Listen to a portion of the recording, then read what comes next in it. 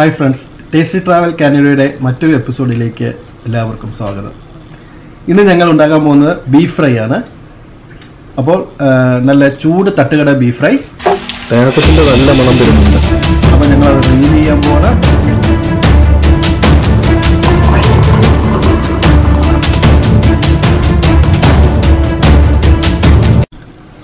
അപ്പോൾ നമ്മുടെ സൂപ്പർ ഒരു റെസിപ്പിയാണ് ബീഫ് ഫ്രൈ ബീഫ് ഫ്രൈയുടെ റെസിപ്പി തട്ടുകട ബീഫ് ഫ്രൈ റെസിപ്പി അപ്പോൾ ഞങ്ങളത് റിവീൽ ചെയ്യാൻ പോവാണ്. എല്ലാവരും കാണുക നമുക്ക് പോവാം. ഇനി ബീഫ് ഫ്രൈക്കുള്ള ബീഫാണ് ഇത് ഇതാണ് ബീഫ് ഇത് ചെറിയ ബീഫ് ചെറിയ കഷ്ണങ്ങളാക്കിയതാണ്. കോസ്കോയിൽ നിന്ന് മേടിച്ച് ഏകദേശം ഒരു കിലോയോളമുണ്ട്. ഇനി ഇത് ചെറിയ ബീഫ് ഫ്രൈക്ക് വേണ്ടിയുള്ള ചെറിയ കഷ്ണങ്ങളാക്കി എടുത്ത് കഴുകി നമുക്ക് വൃത്തിയാക്കിയെടുക്കാം ആദ്യം ബീഫ് ഫ്രൈക്ക് നമ്മൾ ബീഫ് ഒന്ന് വേവിച്ചെടുക്കണം. അപ്പോൾ അതിനുള്ള ഇൻഗ്രീഡിയൻസ് ഇൻഗ്രീഡിയൻസ് എല്ലാം റെഡി ആയിട്ടുണ്ട്. അപ്പൊ ബീഫ് ഫ്രൈക്ക് വേണ്ടിയിട്ട് ഇതിപ്പം ഒരു കിലോ ബീഫ് ഉണ്ട്. അപ്പൊ ബീഫ് കുഞ്ഞു കഷ്ണമായിട്ട് അരിഞ്ഞെടുത്തേക്കുന്നത് ഇനിയുള്ളതെന്ന് വെച്ചാൽ ഇഞ്ചി വേണം വെളുത്തുള്ളി വേണം. സോറി തെറ്റിപ്പോയി. വെളുത്തുള്ളി വേണം ഇഞ്ചി വേണം. പിന്നെ ഒരു കപ്പ് ചുമന്നുള്ളി പിന്നെ അരക്കപ്പ് കപ്പ് തേങ്ങക്കൊത്ത്. ഇത് ടോട്ടൽ ഒരു കപ്പ് തേങ്ങക്കൊത്ത് വേണം. പക്ഷെ അരക്കപ്പ് കപ്പ് നമ്മൾ വേവിക്കുന്നതിലും അരക്കപ്പ് കപ്പ് നമ്മൾ ലാസ്റ്റ് ഫ്രൈ ചെയ്യുന്നതിനകത്ത് ചേർക്കുന്നത്. അപ്പം അരക്കപ്പ് കപ്പ് തേങ്ങക്കൊത്ത്. പിന്നെ ഉപ്പ്. കുരുമുളക് പൊടി ഗരം മസാല മഞ്ഞപ്പൊടി മല്ലിപ്പൊടി മുളക് പൊടി പെരുംജീരക പൊടി. പിന്നെ വിനി- വിനാഗിരിയും വേണം. പിന്നെ ഉപ്പ് ഉപ്പ് പറഞ്ഞോ? ഉപ്പ്. ഇതൊരു ഒരു ഫുൾ സെറ്റ് വെളുത്തുള്ളി ഉണ്ട് അപ്പം അതിനകത്ത് നമുക്ക് കുറച്ച് ചതച്ചെടുക്കണം.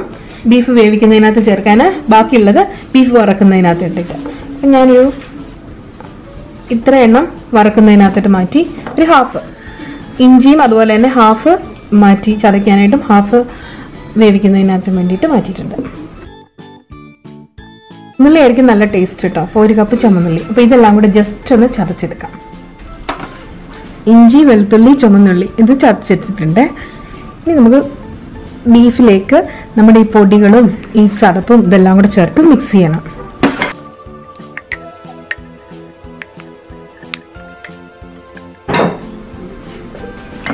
ഇതിലേക്ക് നമ്മുടെ ചതച്ച സാധനങ്ങൾ ചേർക്കുക.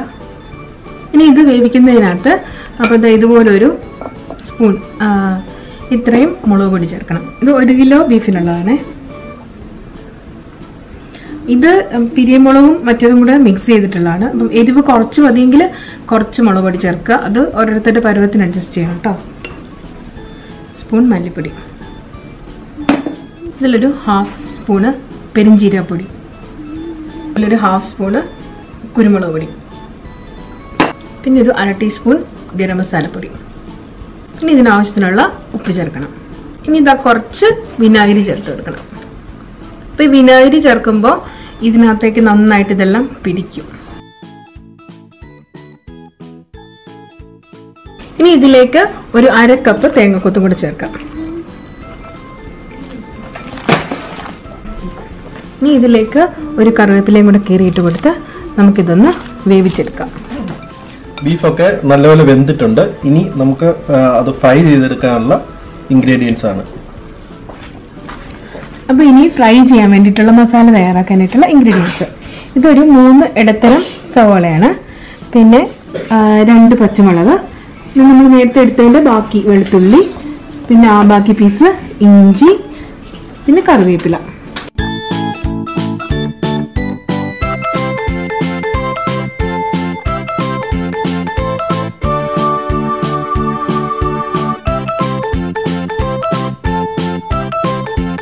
അപ്പം ബീഫ് വറക്കാനുള്ള പാൻ ചൂടാക്കാൻ വെച്ചു.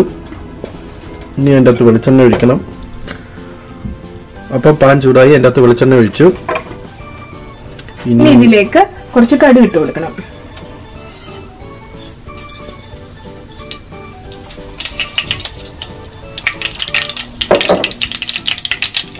ഇനി നമ്മൾ നീളത്തിൽ അരിഞ്ഞു വെച്ചേക്കുന്ന ഇഞ്ചി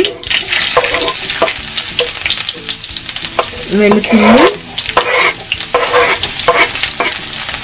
പച്ചമുളക്. ഇത്രയൊക്കെ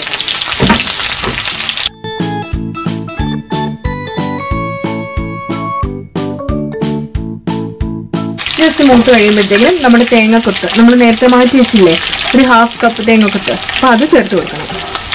തേങ്ങക്കൊത്തിന്റെ നല്ല മണം വരുന്നുണ്ട്. സൂപ്പർ മണമുണ്ട്. ഈ തേങ്ങക്കൊത്ത് നന്നായിട്ട് മൂത്ത് വരുന്നുണ്ട്. ഭയങ്കരമായിട്ട് മൂക്കൊന്നും വേണ്ട കേട്ടോ. ജസ്റ്റ് ഒന്ന് ഫ്രൈ ആയിട്ടുണ്ട്. അതിലേക്ക് നമുക്ക് കറി കറിവേപ്പില ചേർക്കാം.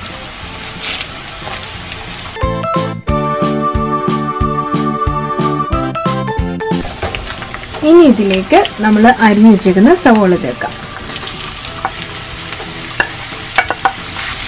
ഇനി എല്ലാവർക്കും അറിയാവുന്ന ടിപ്പ് സവോള വാടാൻ വേണ്ടിയിട്ട് ഉപ്പിട്ട് കൊടുക്കണം. ഇനി ജസ്റ്റ് ഒന്ന് വാടി വരട്ടെ കേട്ടോ. അതുവരെ നമുക്ക് വെയിറ്റ് ചെയ്യാം. എന്താ ഉള്ളി ഈ പരുവത്തിന് മൂത്ത് വരണം. എന്നുവെച്ചാൽ നമ്മുടെ ഈ ഉള്ളിയിൽ നിന്ന് എങ്ങനെ എണ്ണ ഇങ്ങനെ മാറി വരുന്നൊരു പരുവം. ഇനി ഇതിലേക്ക് നമുക്ക് വേവിച്ച് വെച്ചേക്കുന്ന ബീഫ് ചേർക്കാം. അപ്പം ബീഫ് നല്ല ഡ്രൈ ആയിട്ട് വേവിച്ച് വെച്ചേക്കാണ്.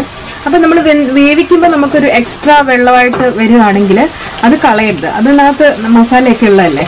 അപ്പം ഈ പീസ് മാറ്റിയിട്ട് അത് മാത്രമായിട്ട് വറ്റിച്ചെടുക്കണം. എന്നിട്ട് ഈ പീസ് അതിനകത്തോട്ട് ലാസ്റ്റ് അത് വറ്റി കഴിയുമ്പോൾ ഈ പീസ് അതിനേക്കിട്ട് മിക്സ് ചെയ്തിട്ട് എടുക്കണം. ഇപ്പോൾ അതിനകത്തുള്ള അരപ്പും പിടിച്ചിരിക്കും. അപ്പം അതിന്റെ ടേസ്റ്റും പോവില്ല.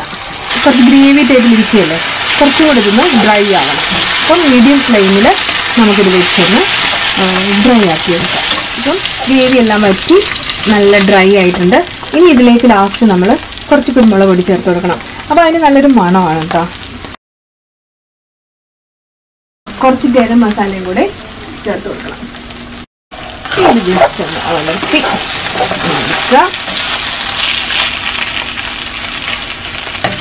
നമുക്കിത് സെർവ് ചെയ്യാം.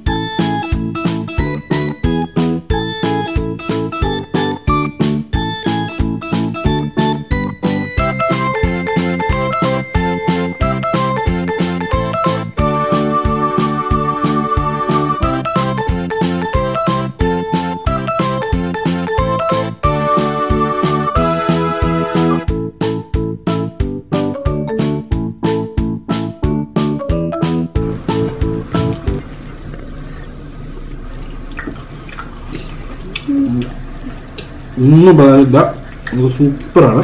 സൂപ്പർ ടേസ്റ്റാണ്. കറക്റ്റ് ഉപ്പും എരിവും എല്ലാം ഉണ്ട്. ബീഫ് നല്ല സോഫ്റ്റ് ആണ്. അപ്പോൾ ഞങ്ങളുടെ ഇന്നത്തെ ബീഫ് ഫ്രൈ എല്ലാവർക്കും ഇഷ്ടപ്പെട്ടു എന്ന് വിചാരിക്കുന്നു. നല്ല സൂപ്പർ ആയിരുന്നു. നിങ്ങൾ എല്ലാവരും ഇത് ട്രൈ ചെയ്യുക. നല്ല അടിപൊളി റെസിപ്പിയാണ് ഞാൻ ഗ്യാരണ്ടിയാണ് അപ്പോൾ ഇനിയും ഞങ്ങൾ ഇതുപോലെയുള്ള ടേസ്റ്റ് ട്രാവലും ആയി വരുന്നതായിരിക്കും.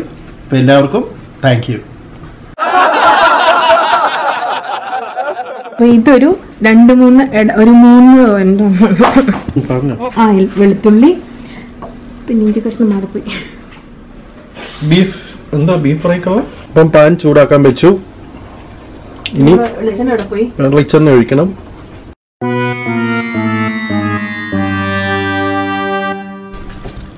ടേസ്റ്റ് ട്രാവൽ കാനഡയുടെ Anda, vale.